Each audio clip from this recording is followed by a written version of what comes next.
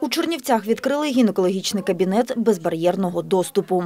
Якість огляду, зручність та комфорт для кожної. У пологовому будинку номер 2 відтепер жінки з інвалідністю зможуть отримати професійну медичну консультацію. Крісло в нас підйомник, який може е, коригувати залежності від висоти коляски для жінки. Якщо потрібно, є гамак, який можна е, як допоміжний засіб для того, щоб переставити жінку з коляски на е, крісло.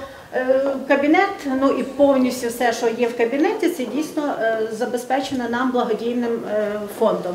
Гінекологічний кабінет призначений не лише для жінок з інвалідністю. Звернутися за допомогою сюди можуть усі, хто має потребу у спеціальному огляді. Саме для цього крісло оснащено поручнями опорами та має регулятор висоти. Крім того, у медичному закладі продумали й безбар'єрний доступ до самого кабінету. Ми виборюємо те, щоб кожна медична установа мала архітектурний доступ до приміщення, е, мала можливість, щоб кожна людина, незважаючи, чи вона пересувається в кріслі колісному, чи вона ходить за допомогою милиць, палець, чи вона тотально незряча, це також важливо. Проєкт реалізували за підтримки Фонду народонаселення ООН і Міністерства закордонних справ Данії. Схожі кабінети також відкривають у різних містах України. Олена Крічко, Ярослава Боячук. Новини Чернівців. Телеканал Сі 4